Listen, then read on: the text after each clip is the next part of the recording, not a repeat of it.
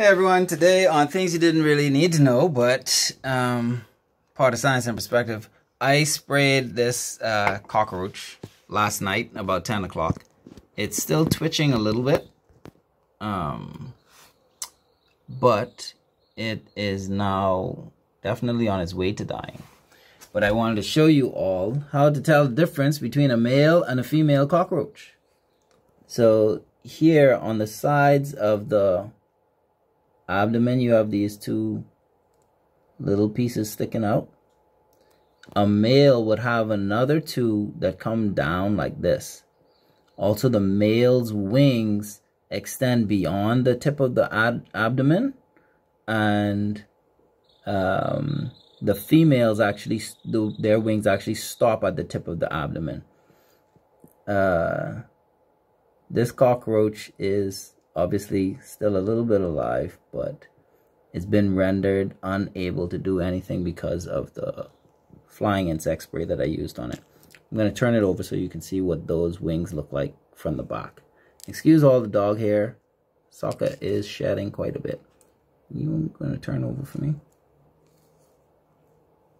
I'll just use my hand.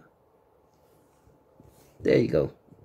Yes, I touch a, touch a cockroach, so don't mess with me. All right, this is the extent of the wings. And you can see those little um, extensions on the back of it stick out from the bottom there.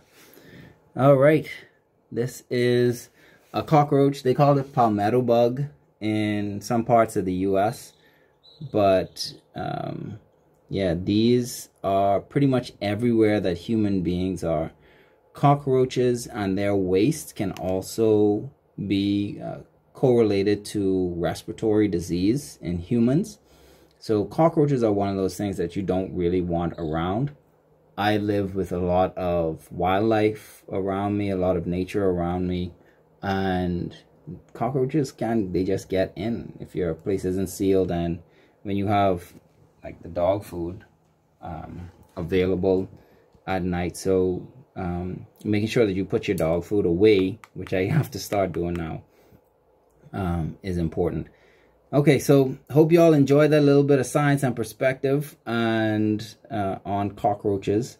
I'm going to put this one out of its misery, which would make it um, not useful for showing you that those body parts.